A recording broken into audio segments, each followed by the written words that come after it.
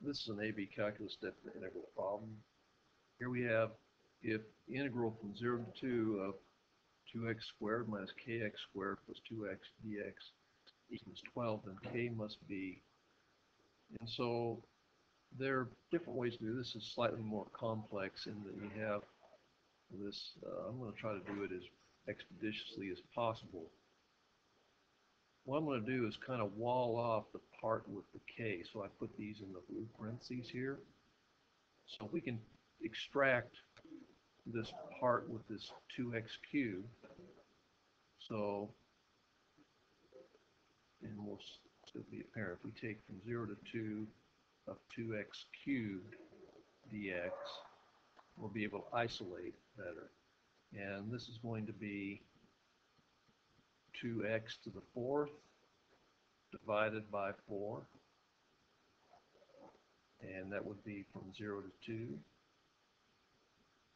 And so we're going to cancel, cancel this so we get we get 2 to the fourth over 2 which equals 2 to the third excuse me yeah 2 to the third which equals 8 so we know that the remainder is 4 so I'm going to just kind of simplify this. So we know now that the remaining portion here 0 to 2 negative kx squared plus 2k dx is equal to 4 because we extracted this first portion of it and that was equal that was equal to 8 so 12 minus 4 12 minus 8 equals 4 so now just working it out here we get uh, taking the integral,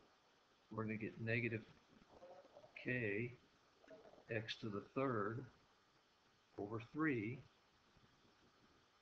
plus 2kx. And we're going to go from 0 to 2, and we know that's going to be equal to 4. And so just substituting in, we have negative k times 2 to the third power over 3 plus 2k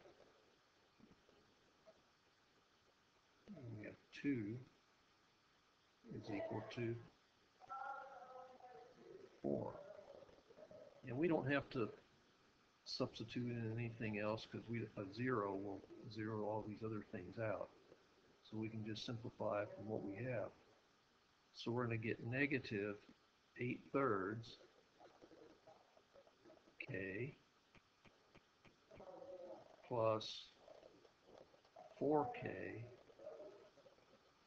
equals 4. And just simplifying, what is, how many thirds do we have in 4? Well, we have 12 thirds, right?